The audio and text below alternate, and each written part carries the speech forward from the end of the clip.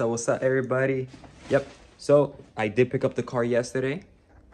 I do have it right over here. Yeah, please oh, don't look at my mess over there. I know I have a messy ass garage. I don't know what to tell you. Race car, shit, I guess. Uh, you guys do ask, how much horsepower did the car make? 260 horsepower. Let me explain. So when I bought the car, I didn't know too much information on it. The guy I bought it off to, he bought it off somebody else and he had minimal information on it. So I didn't know anything that was done to the car. I didn't know what type of um, injectors it had. I didn't know what type of coil packs it had. I kind of just went in blind and I said, yo, I need to get a tune because he told me it needs a tune to run. So I kind of just scheduled the appointment and just hope for the best.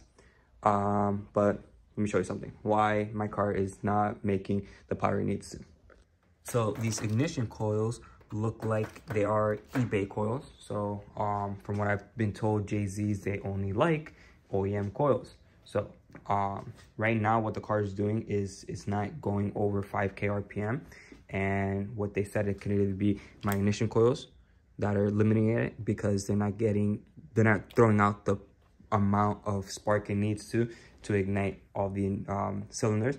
Or as well, it also has eBay fuel injectors um, so that doesn't help the situation at all. Or it can be my igniter going out, or possibly it can be my crank sensor that is somewhere down there.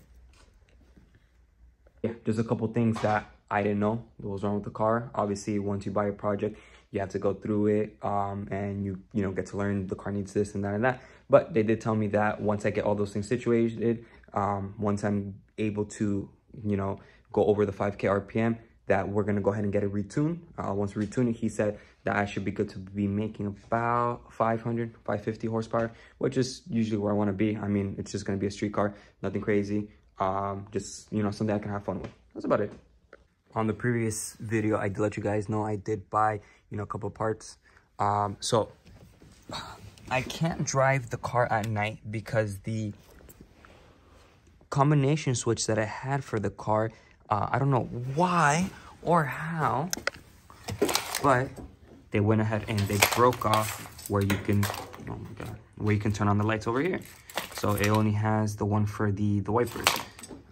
I did get this one with the car, but it is for a different year.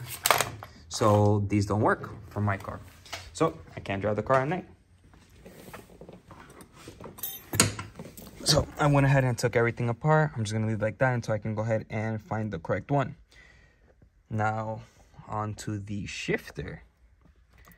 Don't cheap out. So I'm having issues with uh, the bushing. Uh, it's not really fitting correctly. I know the bushing is something cheap. I can always go ahead and get another bushing. So I'm gonna try the getting a maybe an OEM bushing, seeing if that fits um, a little better, so I can go ahead and run it. Um, but again, since I can't drive the car right now, I'm not stressing it too much.